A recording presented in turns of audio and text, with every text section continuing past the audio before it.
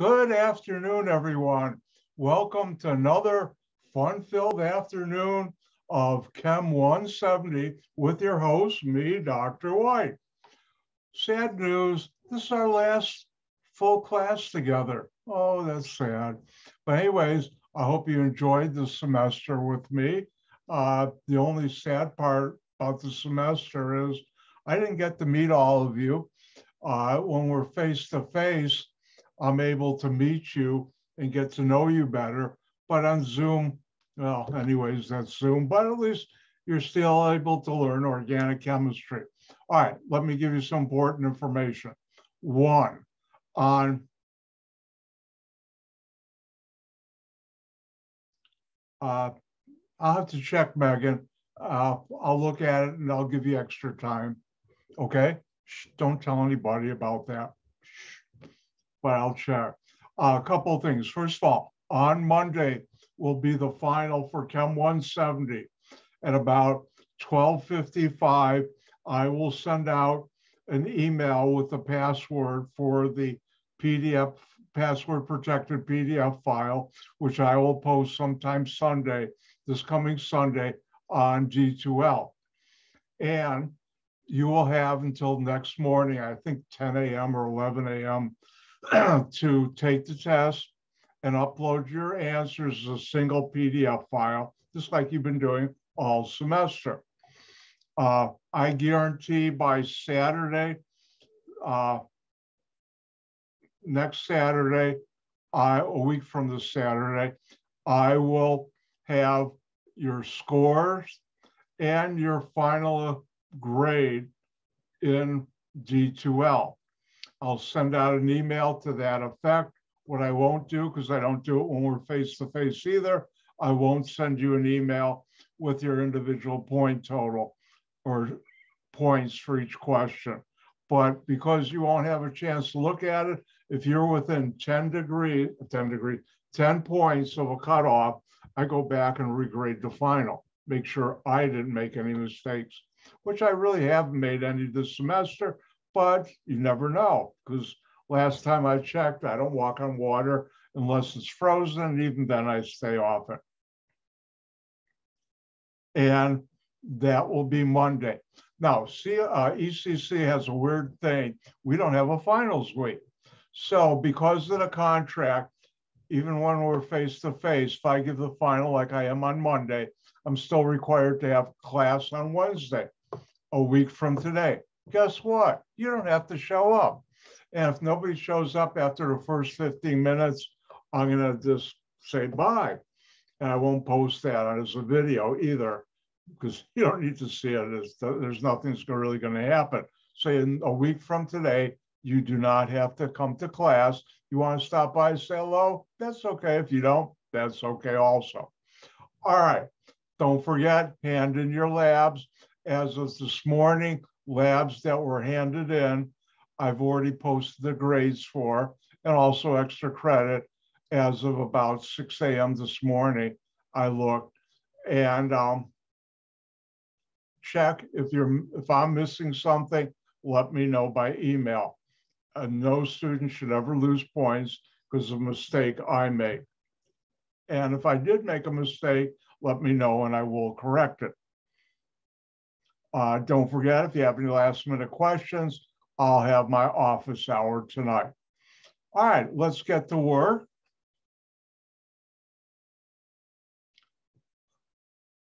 Everybody see uh, test two review. Thank you, Megan. And the last part here was right here. And this is an aldol condensation. Remember the alpha carbon, the carbon bonded to the carbonyl carbon has acidic protons.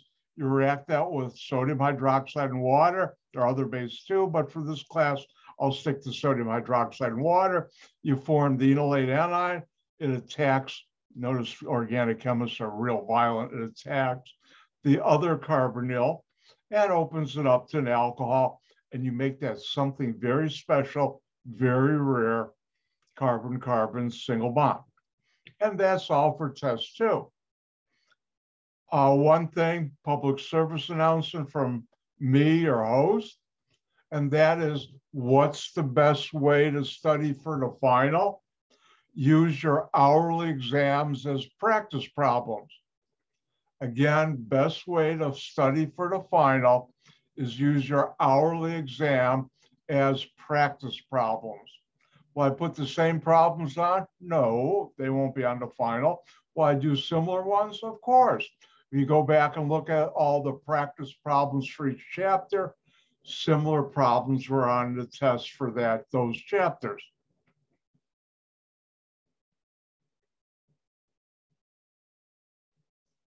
Let's look at test number three review, which you should see on your screen.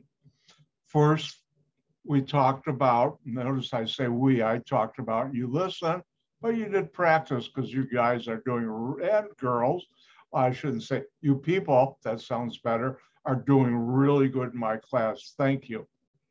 All right, carboxylic acid, carbonyl, carbon double bond oxygen, hydrox group and R group. And how do you name it? You find the longest chain with the carbonyl carbon, drop the E, add OIC in the word acid. If they're uh, substituents, remember the carbonyl carbon is always number one. Now I asked you to learn two common names. When R is a methyl group, that's acetic acid. Where do you find that? Mix that with water and you have vinegar. When R is a hydrogen, you have formic acid, and that is the acid mixed with water that the fire ants use as a defensive weapon. When R is a benzene ring, IUPAC and their infinite wisdom make the common name, the IUPAC name, benzoic acid. Now, carboxylic acids are carboxylic are acids because they have they donate a proton. Definition of a Bronsted-Lowry acid. And if you react it with any base, lithium, sodium, or potassium, you remove that proton and form the carboxylate anion. Now, there was a special base I asked you to know all the products, and that's sodium bicarbonate baking powder. If you take a carboxylic acid, you'll get the carboxylate anion, water, and carbon dioxide, and the arrow shows you up that the CO2 is given off as a gas. And if you remember, I told you the story about the little rocket ships. Oh, it's great memory. Uh, my father taught me, well, first of all, I had the world's awful, most awful candy. You throw that out in a proper receptacle, and you have an empty little tube, put some baking powder and AHCO3 and vinegar, slam the cap on, it builds up CO2, and the cap goes flying off, and it was cool. If your timing was great, it would go about five, six feet. And when you're five, six years old, that's amazing. Don't forget, I taught you about my father's secret recipe for uh, spaghetti sauce by putting sodium bicarbonate in at the end would neutralize some of the citric acid. And also, it's not in our course, but he also put a little pinch for like three gallons of salt, a uh, sauce of cinnamon. All right, how do you make a carboxylic acid? You oxidize a primary alcohol. And remember your friend on the final. There are two friends you'll have. One, how many bonds to carbon? Four, four. Uh, over the years, grading finals, I'd say about 70% of the answers, if a student had looked, oh, I don't have four bonds to carbon, that can't be right, they would have changed it and got more points. That's most, a good part of the wrong answers are because that. The other thing you should remember, do you break carbon-carbon single bonds except for combustion? No, not in this class. And in real life, it's very rare too. All right, another way to make an aldehyde is oxidize a ald, uh, make an aldehyde. another way to make a carboxylic acid is oxidize an aldehyde. And you replace the H with OH. Now, a cool way, and it is because you use dry ice sometimes, which is cold, cool, is take a Grignard, remember X can be chlorine, bromine, or iodine, and react it with CO2, second step acid and water, and you get a carboxylic acid that's one carbon longer than the Grignard you started with. All right, next we started talking about esters. Esters, you have a carbonyl with an R group, and the carbonyl is an oxygen. And on the oxygen, instead of a hydrogen, you have R prime more carbons. Now, let me remind you, when you're studying for the final, don't forget to play that fun game, circle and name the functional group, two points each. Go look at test two, go look at test three. Remember, practice circle and name the functional group, two points each. Now, ester, how do you name it? You name the R prime in front and you name that as the alkyl group it comes from. Next, there are two ways of doing the rest of the molecule. IUPAC rule is name, if R prime was a H, name it as a carboxylic acid to make that ester and drop the IC in the word acid and add ATE. Now, B2 is what one of my students in a long time ago in Chem 170 said, this works and about 95% of the way it does. And that is look at the carbonyl carbon, count how many carbons is in the chain that's connected to, including that carbonyl carbon, name it as an alkane, and then drop the E and add OATE. And for most of this, this B2 will work, but 2A, when R is a benzene ring, benzoic acid, which means benzoate esters, you have to use that. All right, next, uh, the only common name for ester was this one, ethyl acetate. That's where R is methyl, R prime is ethyl, and nobody ever calls that ethyl ethanoate. They call it ethyl acetate, the common name. And that's one of the two molecules used for nail polish remover. See, I took it off. No, I, my grandfather used to, back when I was a kid, very young, men used to have clear coat of polish put on their nails. I remember my grandfather used to, I don't think my father did, but you go in any barber shop and they would do that. All right, now, we talked about it earlier, but let's talk about the IUPAC nomenclature. And this is a carboxylate anion or salt, either one. I like carboxylate anion. And what? how do you name it? Name M plus as the element it comes from in front. If it's sodium Na, you put sodium. If it's Li, lithium, K, potassium. And then use the ester number 2A or 2B, or not to be. That's the question. I can't resist that. Sorry. But anyways, that's how we name it. Now, where do you find esters? Well, whenever you smell a flower, you're smelling an ester. And the smell and taste of many fruits and vegetables are esters. How do you make an ester? Williamson ether synthesis.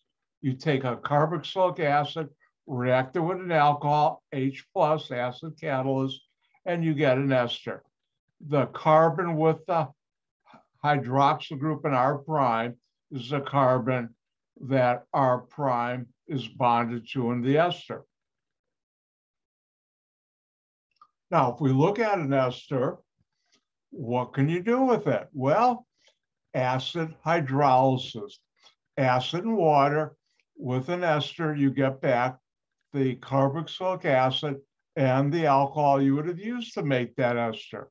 Next, if you take a base, saponification of an ester, you get a carboxylate anion plus the alcohol you would have used to make that ester. The carboxylate anion is the uh, carboxylate anion of the carboxylic acid because this acid will react with the base immediately to make that carboxylate anion.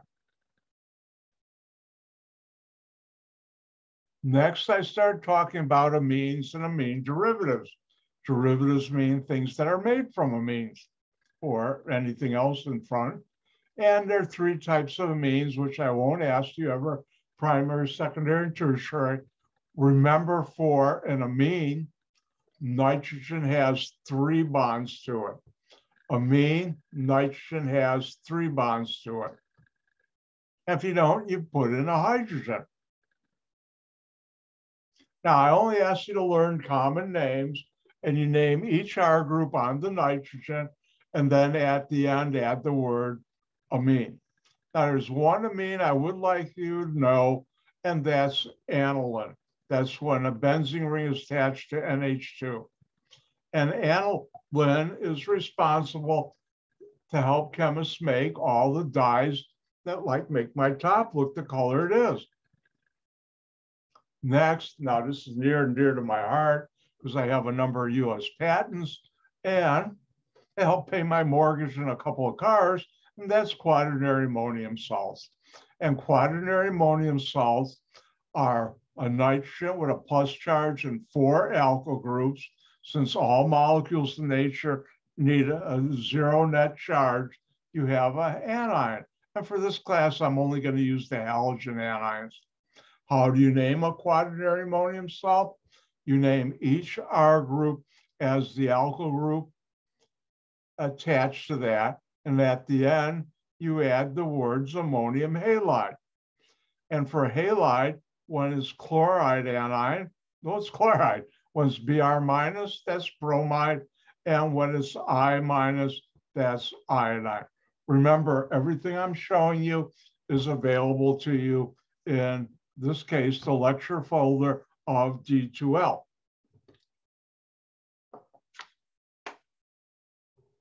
Now, amines are bases, and I'll show you the reaction in a little while.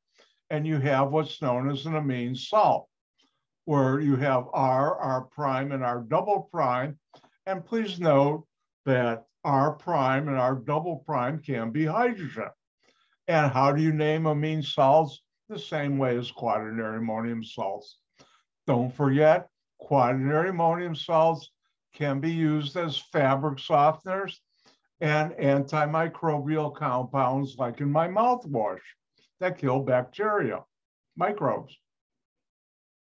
How do you make an amine?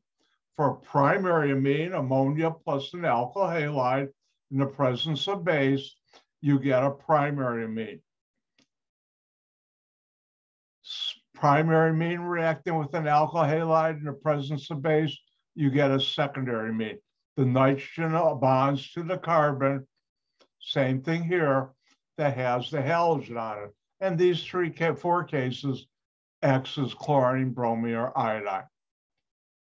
You take a secondary amine, react with an alkyl halide, this attacks that, and you get a tertiary amine. And finally, if you take a tertiary amine, react with an alkyl halide, you get a quaternary ammonium salt, and oh, I can't resist so I won't.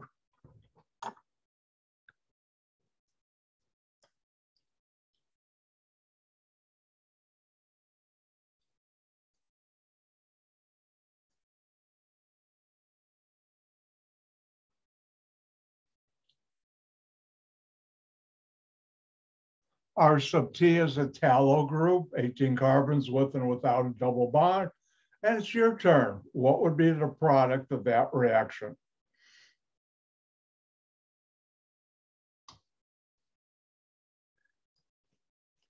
Did you switch screens? Because we still see the test three review.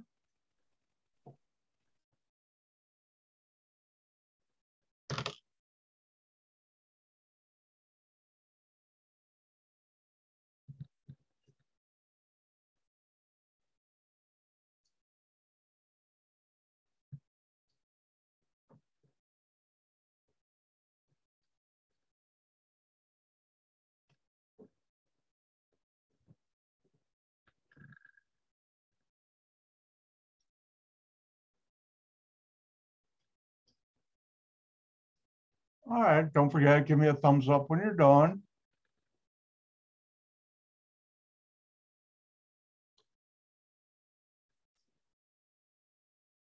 Oh, in case you haven't studied for a while.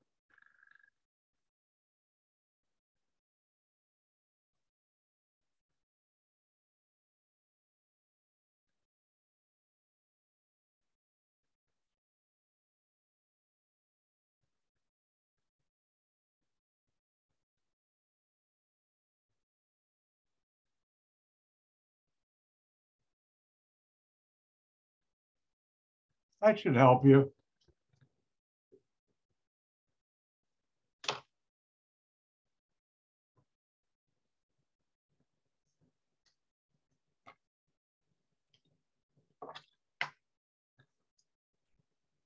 All right, well, I think everybody's done.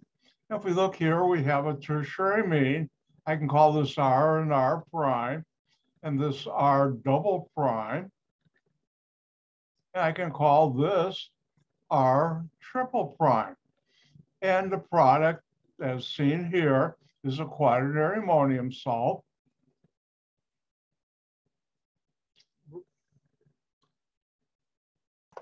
Hey, Dr. White, I think the screen might be frozen. I I'm can not seeing write this any way. work. There's going to be two these on there. Notice R double prime and triple prime are the same.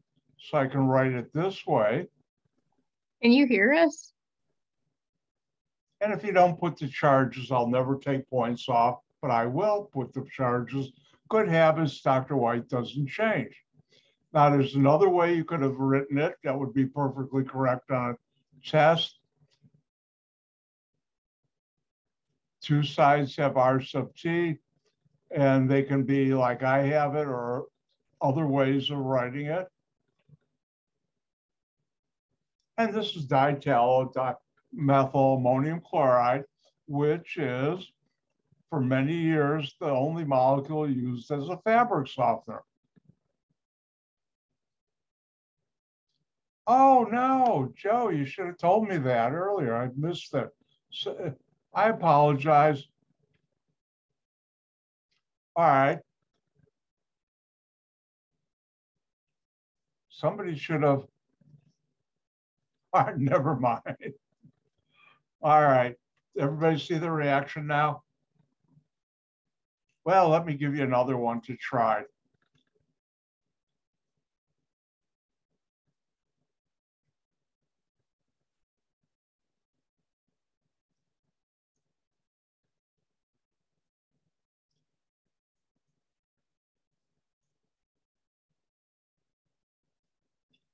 All right, can you see it now? Thank you. The last day of class, I've been pretty good this semester. I don't think I've messed up on Zoom that often. I should shut up because I'll start messing up now.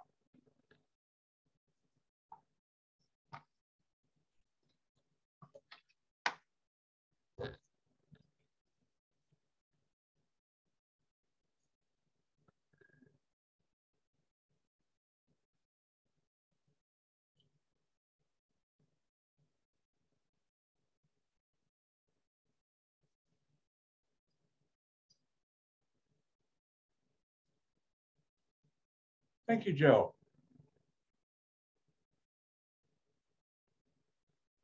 And don't forget, thank you, Megan. If you know anybody anywhere in the United States, anywhere in the world who needs a one semester organic, let them know I'll be teaching this again online totally next semester here at ECC. So they should register. In fact, one of your colleagues told me it also happened, two colleagues, not your colleagues, two former students last semester, schools they go to that aren't ECC, the way they teach this one semester organic, similar to Chem 170, usually 60 or 70% of the class flunks, which is horrendous. It's sad. And those students, when they take me, are doing much, much better if I had that many students flunk in my class, I'd say either I've lost it or somehow I was teaching first graders because it should never happen in my class. All right, let's do this. What do we have? A tertiary amine. Well, I can look up right here where are R prime and R double prime are methyl. And over here, I have an alkyl halide. Remember, X can be chlorine, bromine, or iodine. And this I'll call R triple prime. And one way of writing it, my, our, I'll get a quaternary ammonium salt right here.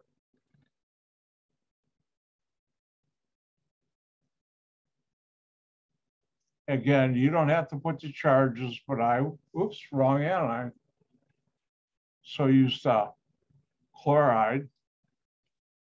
And that's how you do it. And this, for your own edification, this iodine is not bonded to that methyl group. It's ionically bonded to the nitrogen, but we put it to the right. This is a standard convention where you write it even though you could write it anywhere around there. All right. Now, a great way of making a a mean is a primary mean reacting a nitrile carbon nitrogen triple bond, excess hydrogen, a catalyst, catalyst be nickel, platinum, or palladium. And here you have two pi bonds in that triple bond which you break. When that happens, each atom of the triple bond gets two hydrogens, which you can write like this or like this. Now, amines are bases, therefore, I can react this with an acid. And for this class, I'll keep it to the hydrohalogen acids, HCl, HBr, HI, and you donate a proton and make a amine salt. Now remember, R prime and R double prime can be hydrogen. Next, I talked about amides. And amides are carbonyl with an R group, and the carbonyl is nitrogen. And nitrogen, you have R prime and R double prime. Now, with amides, R prime and R double prime, one, both, or none can be hydrogen.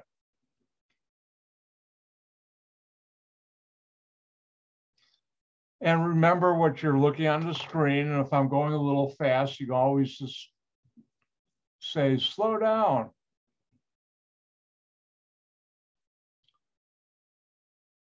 Hold on, let me check something. Ah, I forgot to turn on my speaker. All right, somebody turn on their mic and say something. Hello. It works. Ah. I usually shut it off when I'm not using it, and I forgot to. Do you hear it? I can hear you now. Well, it happens once a semester, I waited until the last day to do it. All right, sorry about that. I feel so embarrassed. My top just turned red. oh, awful humor I got to inflict you with. All right, amide, carbonyl, nitrogen, R prime, R double prime can be hydrogen. How do you make an amide? You react the carboxylic acid with either ammonia, primary amine, secondary amine. In the way I have it written, R prime and R double prime, both or one or none can be hydrogen, and you form an amide. Now, when you react an amide, you use HCl. Why that acid? Because that's in your stomach and this is the general reaction, how you break down protein in your stomach, and amide, HCl, water, you get back the carboxylic acid you would have used to make that amide, plus the amine salt of the amine you would have used to make that amide. Why? Amines are basic. In acid, they form the amine salt. Now, base hydrolysis, you have this case, you get back the carboxylate anion of the carboxylic acid you would have used to make that amide because the carboxylic acid you get immediately reacts with the base to form the carboxylate anion. But you do get the amine you would have used to make that amide. Now, I talked about heterocyclic compounds, and the only things you need to know there are one, what is a heterocyclic compound? That's a ring with carbon atoms and other atoms such as oxygen or nitrogen. And I only asked you to learn one heterocyclic compound, and that looks like benzene, but one of the carbons has been replaced by nitrogen, and that's called pyridine, which is both the IUPAC and the common name.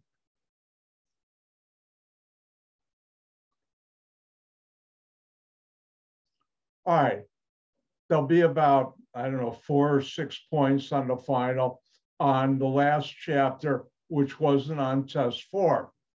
And that's what is an amino acid? And an amino acid, and let me write a better way on my whiteboard.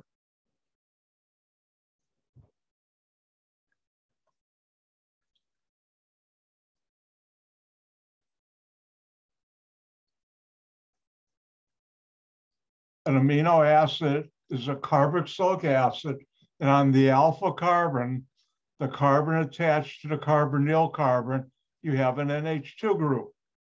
You learned about chiral carbons. When you have four different groups, four different atoms, or four different uh, mixture of groups and atoms, that's a chiral carbon. And the alpha carbon, this one, is chiral when our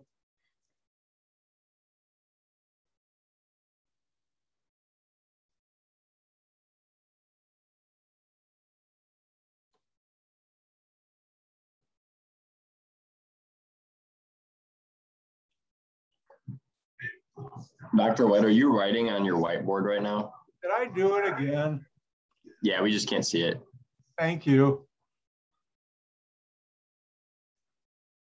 This isn't Friday the 13th, is it? Actually, Friday the 13th's been lucky for me a couple of times, so I shouldn't say that. Is it Wednesday the 13th? All right, now can you see it? Thank you, Calvin, for letting me know. All right, now, if you look at it, an amino acid is a carboxylic acid on the alpha carbon, carbon bonded to the carbonyl carbon, you have an NH2 group. And when R is not hydrogen, then amino acids are chiral. Because all you need is one chiral carbon to make a molecule chiral.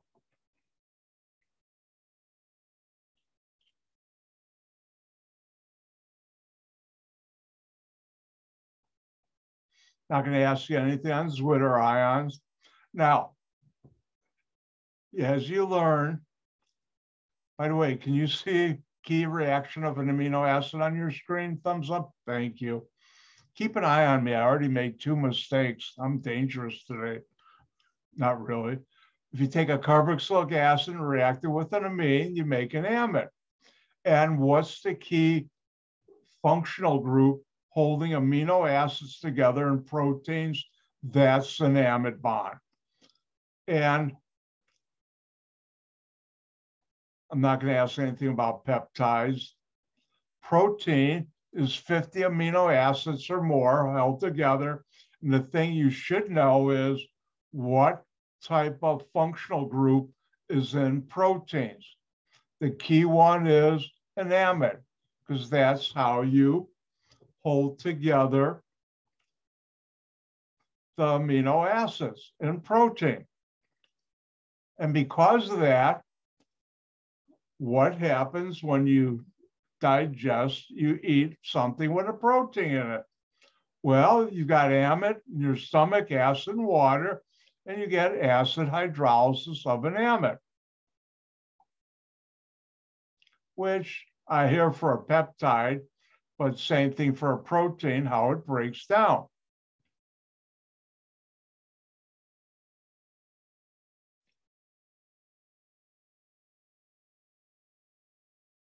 All right, leaving my class, and I'm not going to go through test number four because Monday I went through uh, the answer key, which I'll assume was like in a review, but you should study that.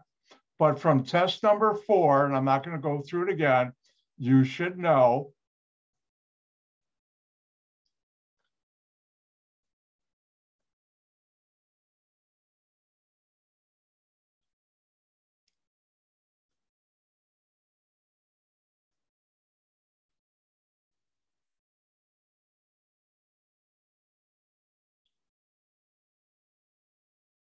you should know how soap works. And oh, I'm going to go through it again. I've got time. You should know soap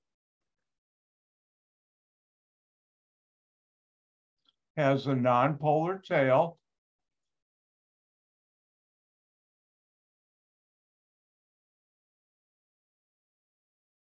and a polar head.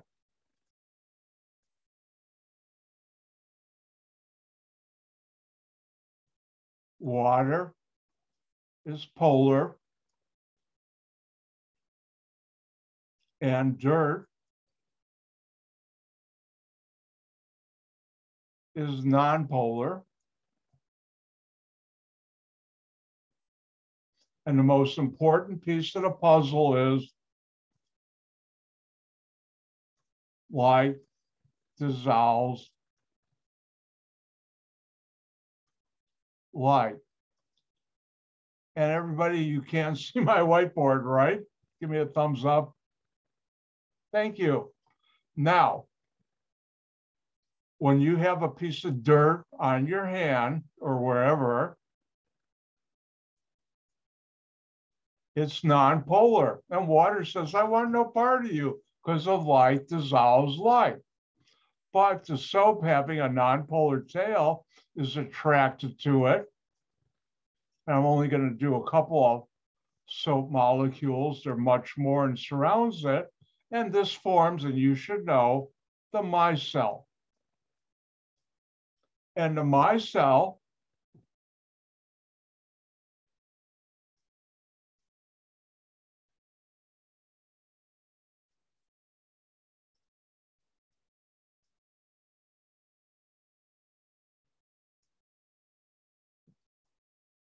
the micelle, which the outside is a shell, you only see the polar heads. Inside in the middle is the dirt. Micelle now looks polar to water. And because the like dissolves like, water looks at the micelle and says, oh, I'm polar, you're polar, let's go down to drain together. And they do. All right, leaving my class, you should know the following how to describe with words and a general reaction what happens when you eat something with fat or oil in it. And what's the key functional group in a triglyceride? Fat or oil? Ester. And here, what's how do you describe that? It's acid hydrolysis,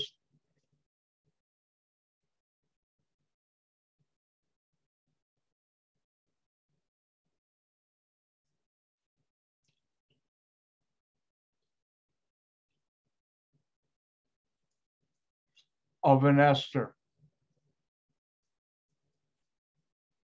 And you should know how to describe with words and the general reaction, ester, in your stomach is acid, and here you can put H plus water, and you get back the, S, uh, the carboxylic acid plus the alcohol you would have used to make that ester. So how do you describe when you eat a fat or oil with words and general reaction? You have acid hydrolysis of an ester. And that's the words. And here's the general reaction, ester, acid, water get back the carboxylic acid and the alcohol you would have used to make that ester. Now, if you eat a carbohydrate, a starch,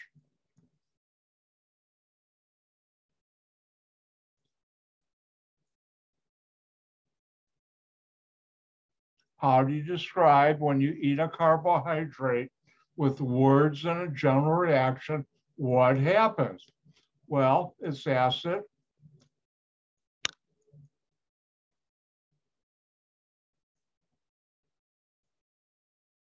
hydrolysis.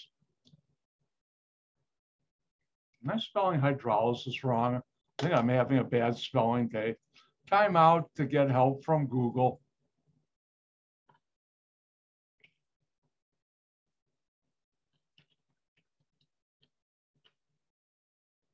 No, I was spelling it right.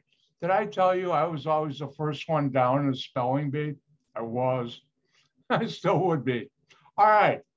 I feel better now. And what's the key functional group in holding glucose together and carbohydrates? And that's an acetal. And therefore, it's acid hydrolysis of an acetal. And what's the general reaction? You learned test number two.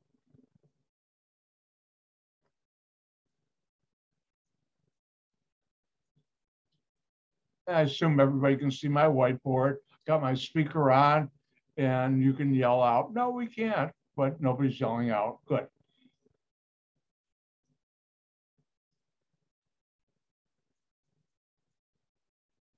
And when you do acid hydrolysis of an acetal or ketal, you get back to ketone plus the alcohol you would have used to make that acetal. For those who want, you can put a two there. I wouldn't, which is why I make it tiny. but I had some students who get a, got upset if I didn't do that. So when you eat a carbohydrate, key functional group acetal, and that's acid hydrolysis of an acetal, how you describe what words. And with a general reaction, acetal, ketal, acid and water, you get back the ketone or aldehyde plus the alcohol you would have used to make that acetal. And finally, how do you describe with words and a general reaction what happens when you eat a protein? And the general, what functional group is the key functional group in a protein, and that's an amide, which other people call the peptide bond. I don't because I'm a synthetic organic chemist. And in your stomach, there's acid and water.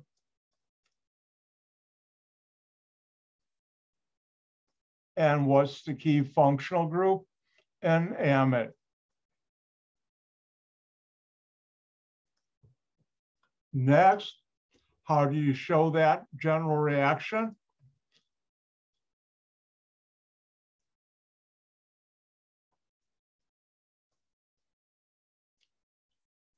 And here I will use HCl because I need a counter anion.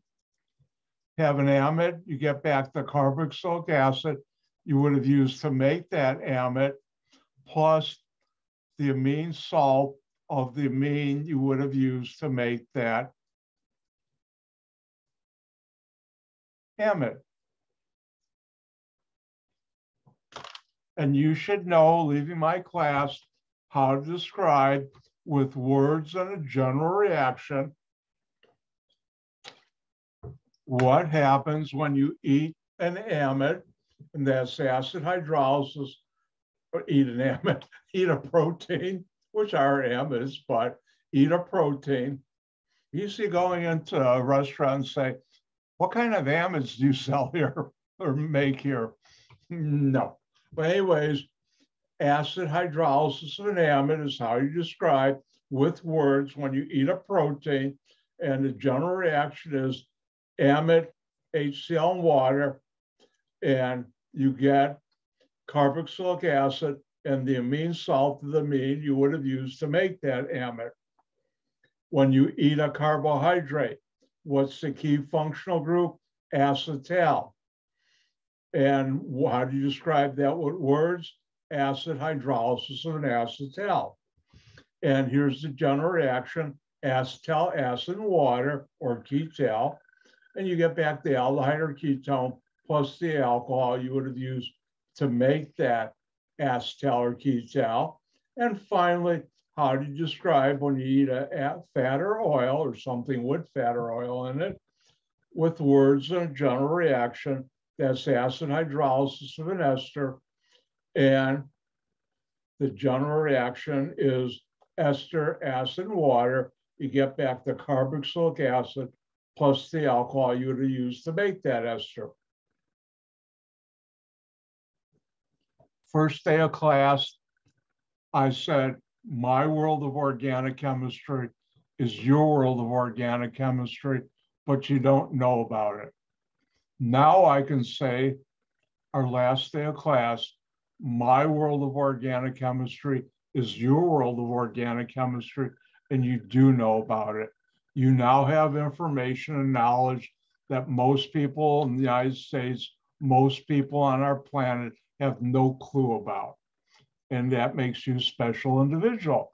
And I'd like to thank each and every one of you who are either in my class in person or watching the videos. Thank you for being in my class. I'm done. That said, if you have any questions, uh, come to my office hour tonight. Megan, stick around for a minute or two so I can help you out. Uh, but other than that, I'm done. And I'll say thank you for being in my class.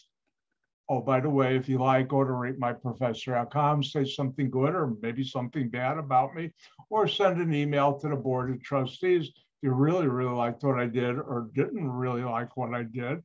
And with that, I'm going to say, don't forget, study hard like you need every point on the final, and you'll do good. And thank you. Gang. Goodbye.